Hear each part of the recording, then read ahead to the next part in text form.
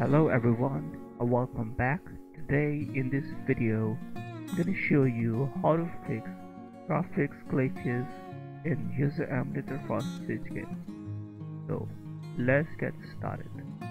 So guys, to fix this issue, you need latest version Yuzu emulator. So first of all, you need to update your Yuzu emulator. So I have latest version and if you are using old version Yuzu emulator then you cannot fix graphics glitches for your switch game in Yuzu so you need latest update for Yuzu emulator. So and second solution if you are using any mod for your game so right click open mod data location and delete your mods. And don't use any mod for switch game. Many people use OpenGL uh, in Yuzu emulator for switch games so uh, they can use Vulkan if OpenGL doesn't work so go to emulation configuration and go to graphics and select from here Vulkan and select your device from here and uh, you have to select GPU video decoding from here and select resolution 1x and if you have AMD CPU or GPU then select from here AMD Super Resolution Vulkan only and select FXAA and if you have NVIDIA GeForce GTX then select this one and select none.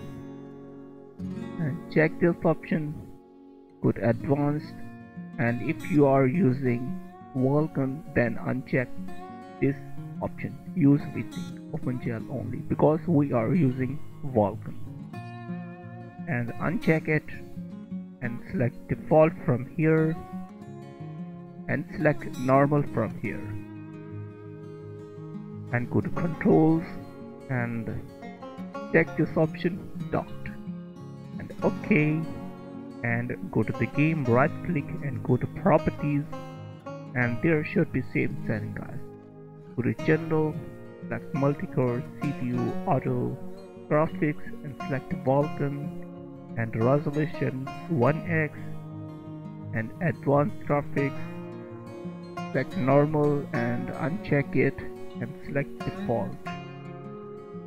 And ok and one more important thing guys. If you are using old drivers for your GPU then please update drivers for your GPU first and if you want to use Vulkan then uncheck your mods for your switch game right click open mod location and delete your mods from here.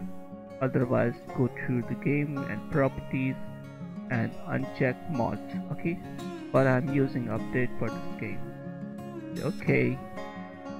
And guys if you are using MSI Afterburner then please disable MSI Afterburner in your PC. You cannot fix graphics glitches for your Yuzu emulator with MSI Afterburner. So disable MSI Afterburner.